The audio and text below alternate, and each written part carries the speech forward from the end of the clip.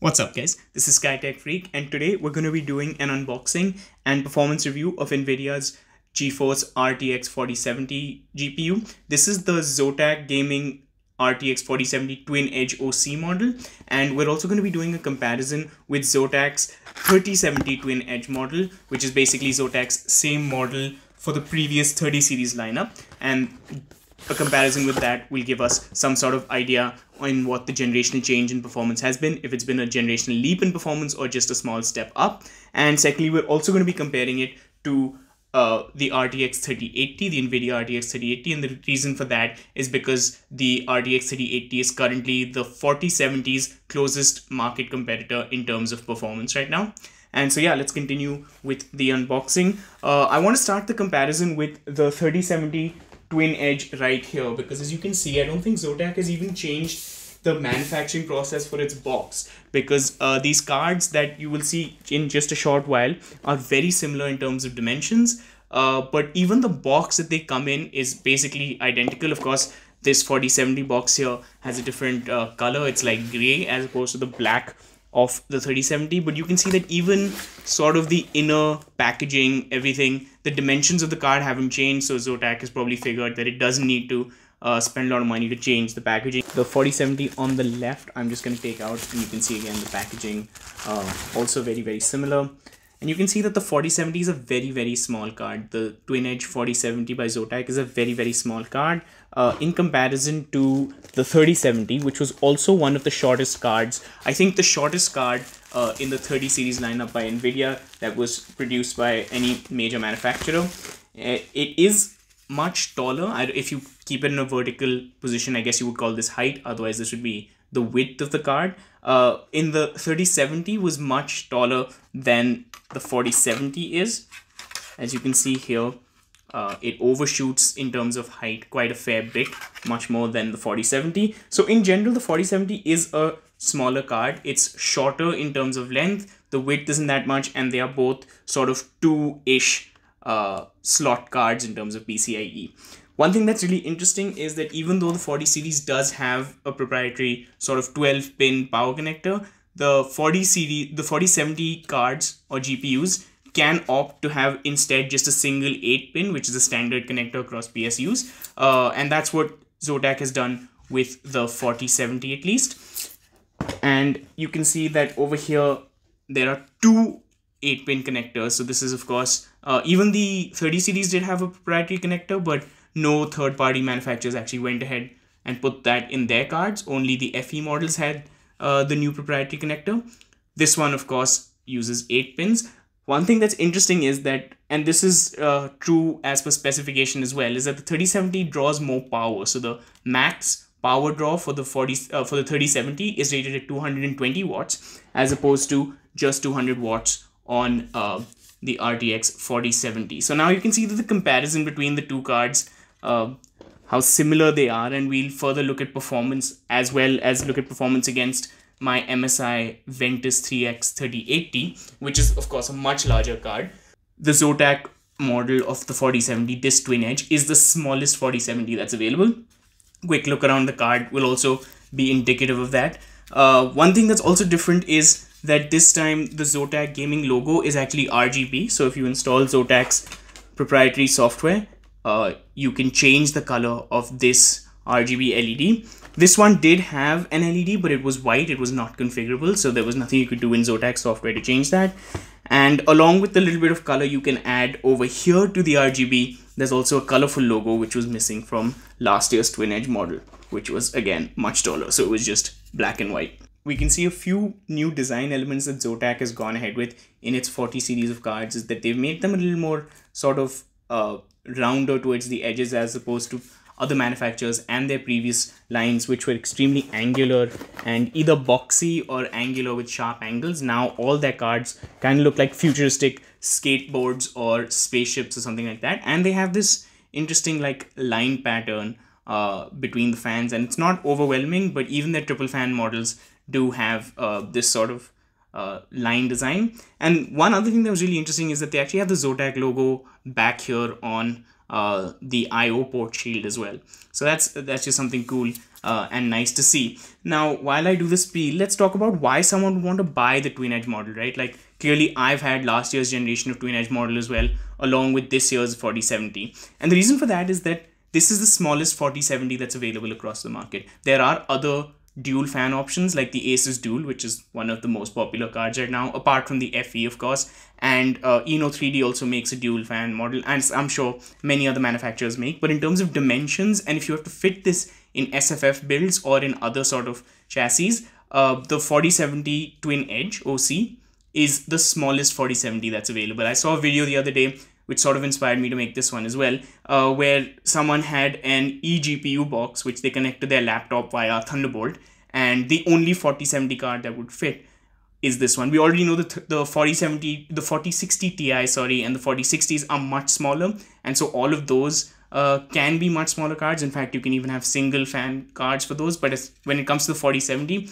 this is the smallest one. So if you're trying to fit it in tight spaces, if you have a case that doesn't accommodate large GPUs, but you want the fastest possible GPU, uh, then you might want to look at the RTX 4070 Twin Edge because this is smaller than the FE and it's smaller than the Asus Dual or any other card uh, that's out there. Another reason why you might want to pick this up, if you picked up an a Zotac Magnus 1, is that this is the only 4070 that'll fit in that. Again, 3060 Ti's, 4060 Ti's do fit in the Magnus 1. In fact, when it comes to 3070s also, there were only two 3070s across the market that could fit in the Magnus one. One was, of course, the 3070 Twin Edge, which comes with the Magnus one if you get the i7 uh, 10700 model, and the other dual fan 3070 that could have fit from the 30 series was MSI's Ventus 2X, which is a dual fan version that also fits in the Zotac Magnus one. But when it comes to 4070s, I looked across many, many models, and the only 4070 that will fit in the Magnus one is the Zotac Twin Edge. And in fact, they are coming out with the 13th generation Magnus One with the same case, but a 13 gen processor instead of a 10 gen processor, and of course, the 4070 and 4060 Ti models.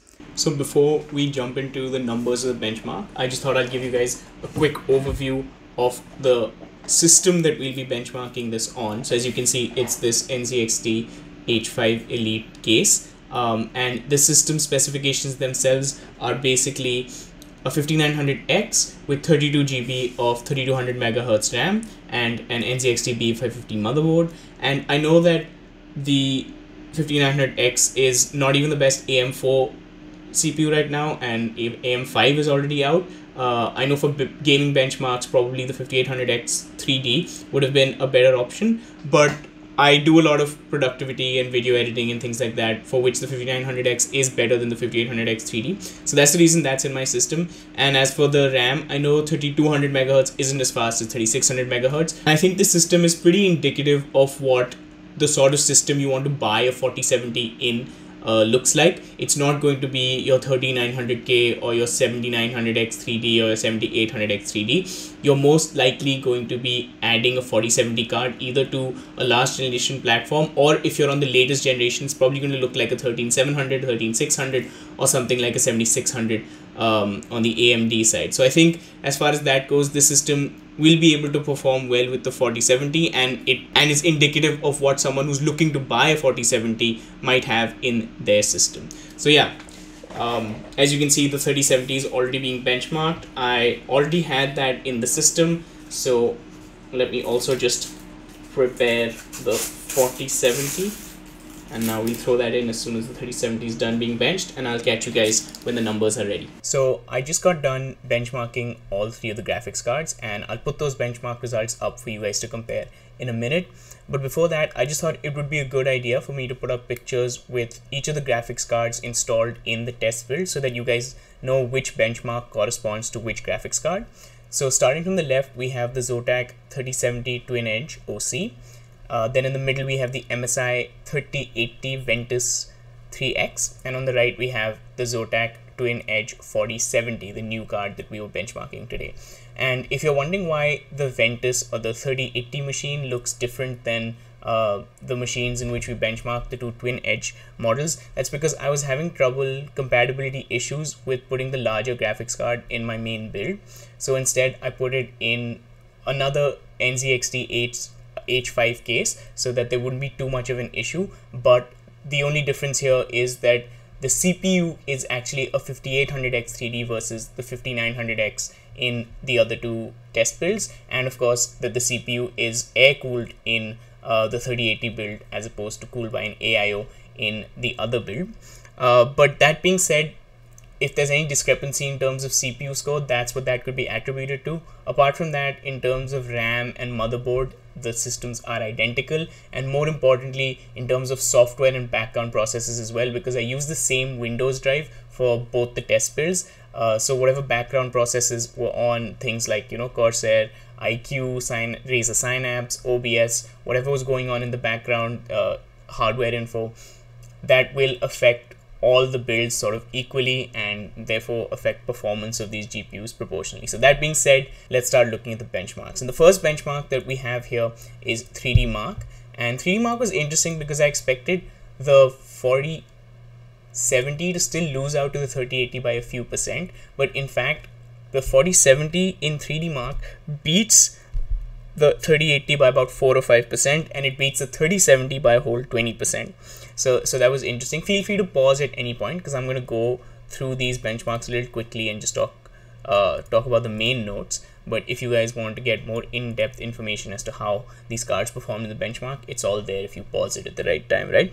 The second benchmark we have is Heaven benchmark, and this is where uh, what I was expecting to happen actually does happen, and the 3080 does end up beating the 4070. And in fact, this is also the benchmark which was the most interesting because it's a benchmark where the 3080 has the biggest lead over the 4070 but it's also the same benchmark in which the 4070 has the smallest lead over the 3070 so i'm thinking that maybe heaven isn't uh, quite optimized for the 4070 yet or whatever the reason is. Basically we have a 10% difference across the board. So the 3080 is 10% better than the 4070 and the 4070 is 10% faster than the 3070 in the heaven benchmark moving on let's look at Furmark.